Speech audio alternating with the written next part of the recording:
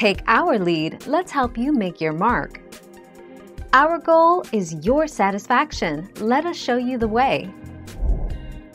The results of the study suggest that olfactory dysfunction could be due to central nervous system damage caused by demyelination. That means the sense of smell might be a marker for disease progression in MS patients. It is known that olfactory issues can come on strong in early MS or can flare up during relapses.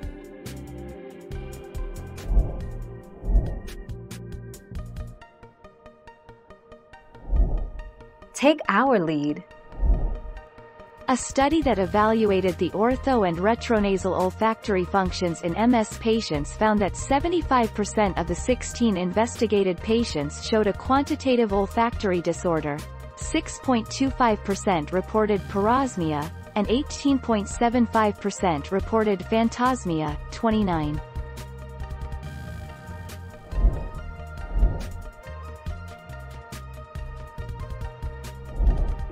Take our lead.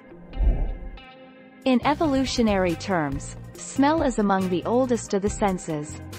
New research shows how anxiety or stress can rewire the brain, linking centers of emotion and olfactory processing, to make typically benign smells malodorous.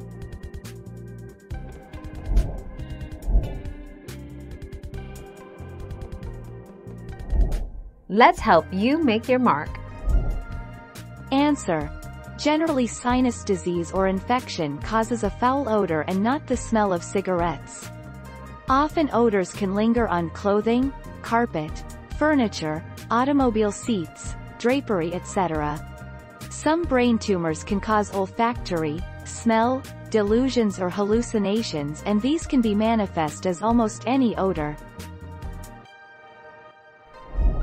Thank you for watching. Please subscribe and hit the bell notification.